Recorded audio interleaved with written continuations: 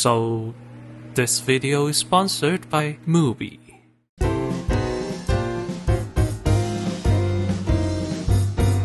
Chinese cinema is having a good year right now. In fact, so many good films are coming out, I can hardly keep up. It feels like the end of an era. After a decade of uneven performance, Chinese blockbusters have finally found its footing. I almost feel bad for thinking up the past.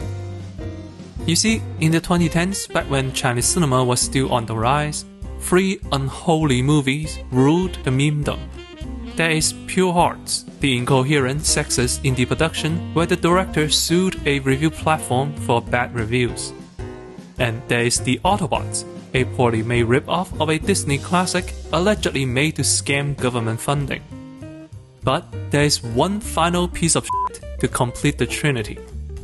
Switch, a proper big-budget blockbuster with big-name stars like Andy Lau and Lin Zhiling, and it is so bad both lead actors publicly apologized.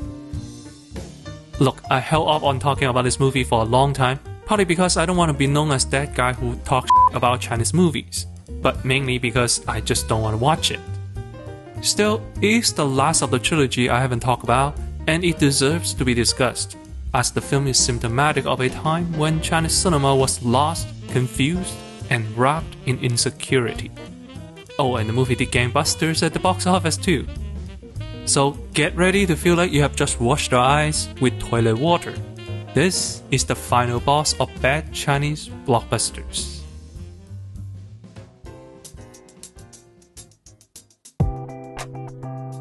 Switch is a 2013 spy action thriller about a police special agent and his mission to protect a set of two paintings from being stolen by various criminal organizations.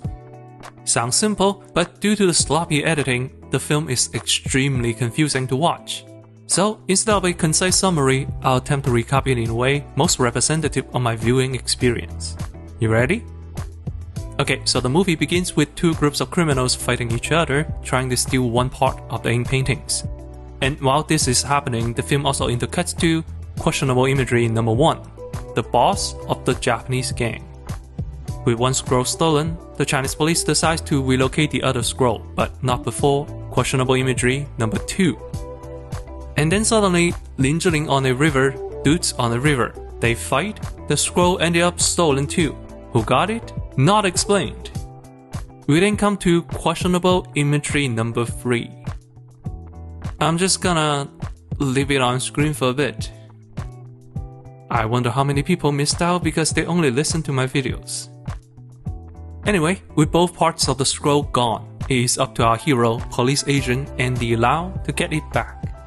He teams up with a new partner, Taiwanese model Lin Zhiling, often regarded as one of the hottest Asian women in the 2000s. You may recognize her from Red Cliff. The mission took them just 10 minutes of screen time, and Lau even escapes with a pretty sick stunt. We then have a pointless scene that lets me thanks to their sponsor, Mubi, And Lau heads to the drop-off point, gets ambushed, stops Lin Zhiling, and then gets stopped himself. Turns out it was all a trap set up by the Japanese gang. Lin Zhiling is a Japanese spy, which we already knew. Three months later, surprise, he's alive. Surprise, she's alive. Surprise, she's a nun? What's the point of all that? Now it's a mission for his redemption. Andy, his wife, yes, he has a wife, and Lin Zhiling team up. Why is Lin Zhiling part of the team? I guess because she's hot. The mission is successful, but surprise, they got shot. Surprise, they survived.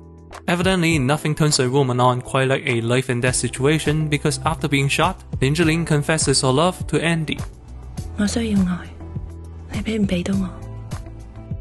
The next day, Andy's wife gets kidnapped, and you know what that means? Yes, she confesses her love too. 我只系想问你一件事，如果冇小宝，你系咪都会拣我？To take back the second part of the scroll, Andy confronts the Japanese gang. Questionable imageries number 4, 5, 6, 7, and 8. And then is the climactic battle.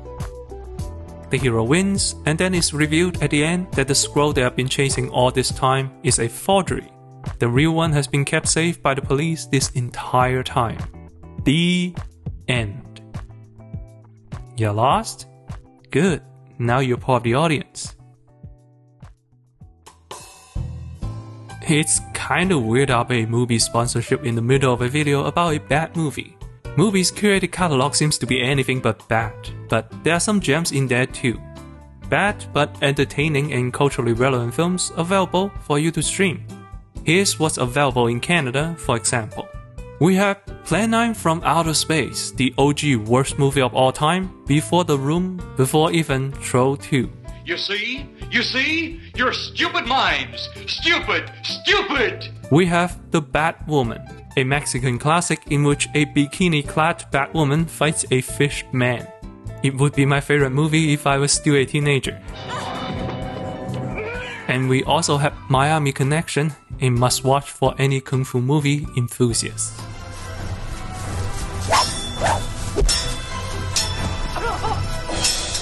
Or, you know, you can just watch countless other good movies on Mubi. If you are interested, I mean, how could you not? You can try Mubi free for 30 days at mubi.com slash cinema. That's M-U-B-I slash Accent cinema for a whole month of great cinema. For real though, Mubi is genuinely amazing. I wouldn't be this exciting about a sponsorship otherwise, and I really do recommend it. So, if you want to experience the beautiful world of cinema in all of its colors and flavors, check out the link below and give Mubi a try.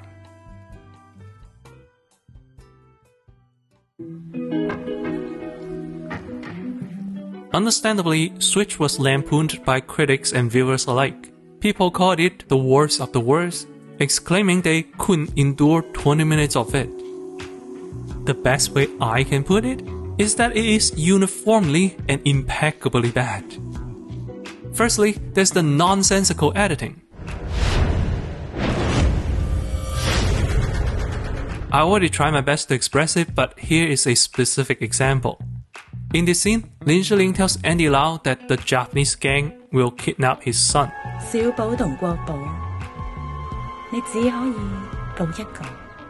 The film then cuts immediately to his son approached by the gang boss.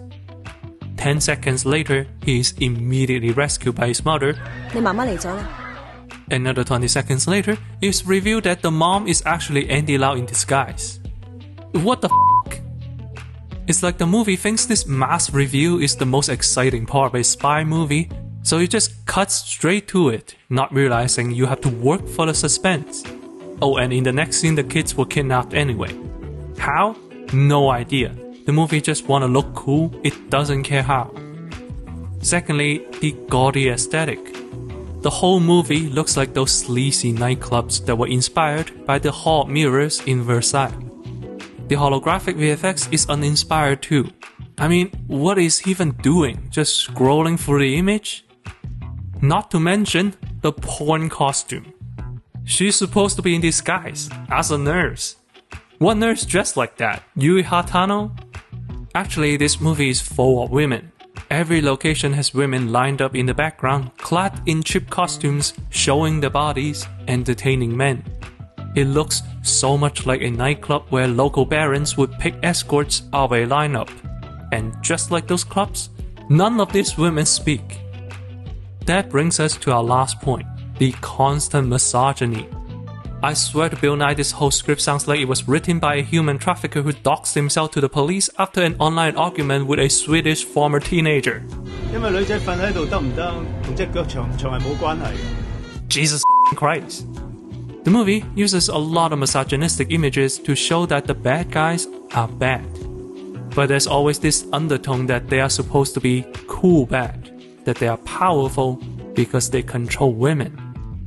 Every man is accompanied by a hot chick, and they are the most literal interpretation of a trophy. They are perpetually amused by their men and have little to no dialogue. The two female leads only speak to each other in a short scene, and of course, the only thing they talk about is Andy Lau.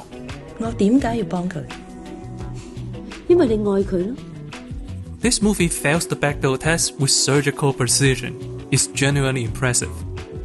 All of that was but a taste of how bad the movie is. But now, let's talk about why this movie is bad.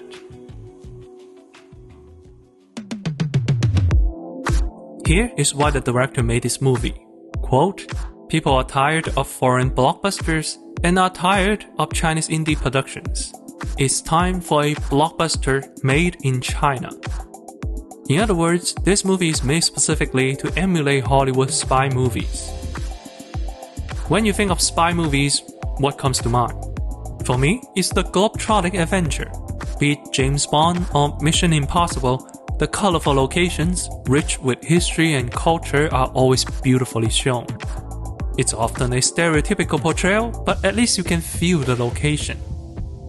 When Switch goes to Tokyo or Dubai, however, all it ever shows is money. Well, look how rich the place is. This obsession with wealth, class, and grandeur is one of many symptoms of the Chinese vanity culture. Face remains a big part of Chinese social intercourse. Your ability to show off affects your social standing. Everyone is encouraged to keep up with the Joneses. And as China's economy grew, the material competition only intensified. Thus, words like Bai Fu Mei or Gao Shuai Fu entered the public lexicon. Women are valuable if they are pale, rich, and beautiful. Men are valuable if they are tall, handsome, and rich. People of mediocre standing are mocked as 屌丝, kinda like calling someone a basement dweller. What happens if you can afford a Gucci bag? You buy a fake one. You skip the hard work and add it straight to the rewards. You flaunt your wealth and your power over women, desperately trying to convince the world that you are a winner, not a winner. And so the mentality manifested in this film. It has to have the most amount of chicks, the most famous handsome man as the lead, matched with the best looking women as the love interest. Everything must be bigger, louder, shinier, more colorful. Boobs has to be big, cleavage has to be deep. The movie tries really hard not to lose. There's also a pursuit of a vague European classiness. Even though the final fight is between a Chinese spy and a Japanese criminal, they choose fencing because it's an exotic European sport. To this day, many people in East Asia still internalize the notion that Europe is or was the center of civilization, wealth, and high society. Be it insecurity or vanity, at the time, it's all too common for people to want to prove their worth by comparing themselves with others. In this case, the film compares itself to Hollywood. But in a race, you are supposed to run towards the finish line, not chase after other people.